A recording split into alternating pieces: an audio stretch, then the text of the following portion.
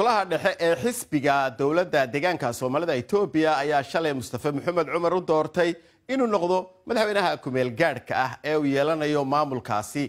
Waxa uu xilka kala wareegayaa madaxweynihii hore axmed cabdi oo dhowaan xilkaas si kumeel gaadh ah isna loogu doortay. Madaxweynaha cusub ayaa hore ugama u tirsanayn xisbiga dowladda deegaanka sababta keentay in qof aan hore xubin uga ahayn xisbiga loogu doortay inuu noqdo siihayaha jegada madaxweynaha ayaa maamulka deegaanka ayaa uu madaxweynihii hore uu ku sheegay. Waxaa laga fogaanayaa buu ihi inuu burbur ku yimaado xisbiga.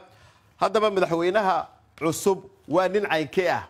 Waxaan goor dhoweed kula hadlay bashiir yuusuf faarax oo jaamacadda mastrick university ee netherland ka tirsan khadka skybe-ka waxaanu madaxweynaha hore la soo shaqeeyey cumar waa nin aqoon-yahana leh waayo aragnimo iyo maaragtay aqoon kala duwan oo khibrad iyo waayo isugu jirta maxaan idhahdaa dowladeed mid dowladeed iyo mid hay'adeedba waa nin jecel afkaaro kala duwan in danta ummadda lagu eego oo siyaabo kala duwan looga hadlo.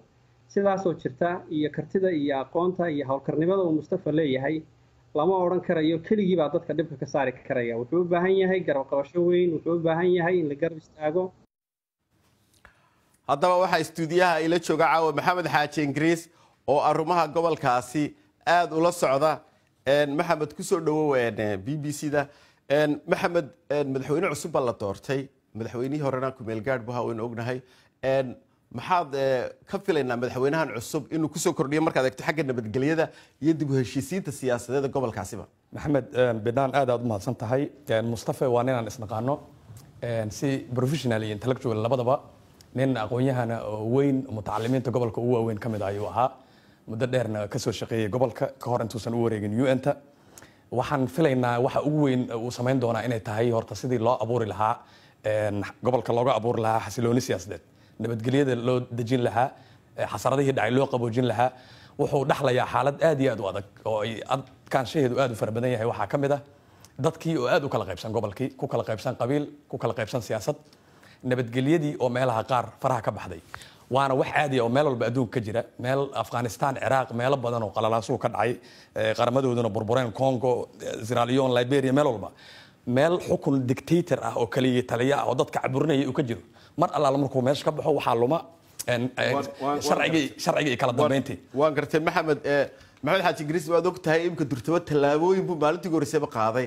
Calankiiba wax laga bedelay magacii gobolkaa la bedelay arrimaha iyaga ka waran sidee kula muuqdaan? Tallaabo weyn oo dadka isku soo dhaweynaysa ayay u muuqataa. Tallaabo midaynaysa soomaalida gobolka ayay u muuqataa. Waxay tahay tallaabo dhiiro gelin doonta dadku wax wada leeyahay inuu meesha ka dhismo oo dadka soomaalida gobolka ku nool ay u wada arkayaan waxay isla leeyihiin. National belonging wax qarannimo ay ku wada midaysan yihiin. Dee laba wiig ka hor isbuuc ayay ahayd. Markii si publicla aniga laftirkayga aan u qoray in gobolka soomaalida etoobiya yahay. Gobolada etoobiya oo dhan gobolka xisbigiisa la raaciyo etoobiya soomaalida etoobiya halka gobollada kale aysan saa jirin waan gartay waan gartay. Waxaan ku soo gabagabeynaya maxamed doorasha la yidhi waxay dhacaysaa laba kun iyo labaatanka.